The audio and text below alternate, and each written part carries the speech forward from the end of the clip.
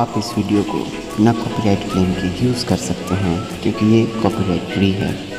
इसके लिए कोई आपको पेमेंट नहीं करनी होगी।